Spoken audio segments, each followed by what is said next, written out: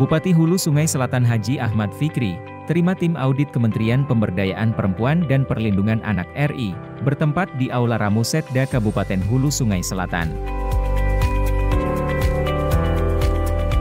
Adapun maksud dari kedatangan tim dari Kementerian Pemberdayaan Perempuan dan Perlindungan Anak RI ini, dalam rangka melaksanakan audit standarisasi dan sertifikasi ruang bermain ramah anak Taman Palidangan Sehati, dan Taman Darman Syah Sohidi.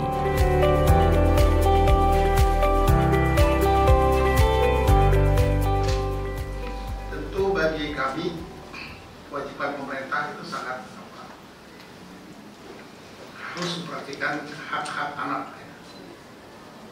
Tadi jam setengah dua saya menerima tim Trans untuk berverifikasi perilaku hidup sehat dari dua tim datang. Bagi saya ini sangat berharga. Paling tidak ada input bagi kami untuk membuat kebijakan lebih baik kita tahun 2018 sudah mendapat penghargaan sebagai pelopor RPRA. 2019 mendapat sertifikat standarisasi, tahun 2020 usulkan lagi. Itu nanti banyak masukan yang disampaikan kepada kami untuk kami melakukan perbaikan dan, dan perubahan.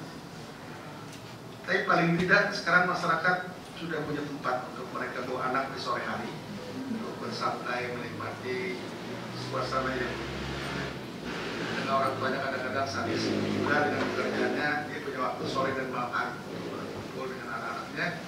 Di ruang terbuka yang disiapkan oleh pemerintah. Oleh kecamatan juga ada rata-rata siang menggunakan kecamatan. Sehingga tidak perlu kota kecamatan juga dia bisa menikmati. Paling tidak komitmen kita merataan ruang terbuka di sebelah kecamatan.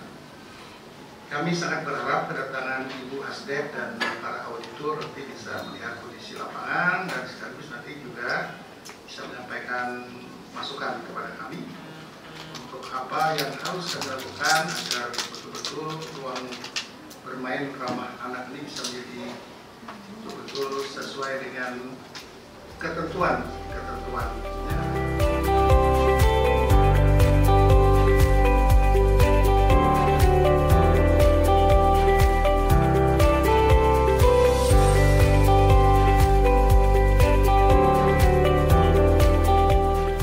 Tim Liputan HSS TV melaporkan.